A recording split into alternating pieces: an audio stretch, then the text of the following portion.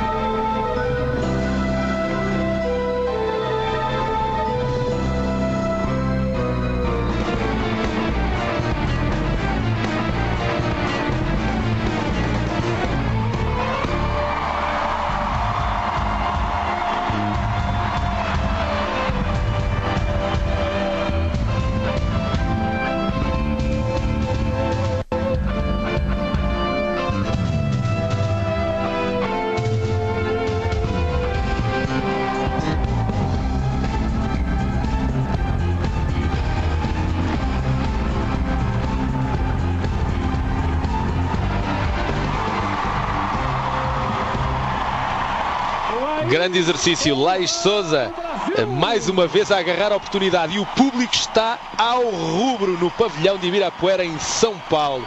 De facto, grande ambiente. E os brasileiros aqui a lutarem pelas medalhas, a colocarem de facto um ambiente fabuloso neste pavilhão na maior cidade brasileira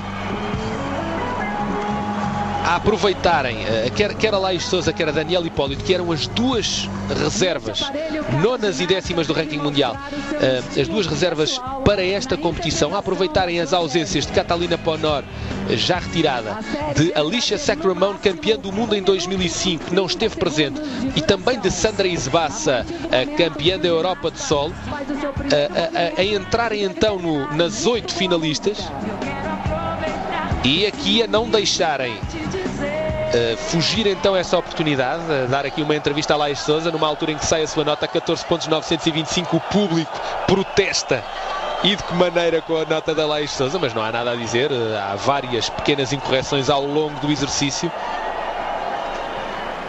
E vamos para Elizabeth Weddle. Já a vimos vencer nas paralelas de uma forma muito apertada, diga-se, mas brilhante. Vai agora para o seu exercício de solo, onde é também muito forte.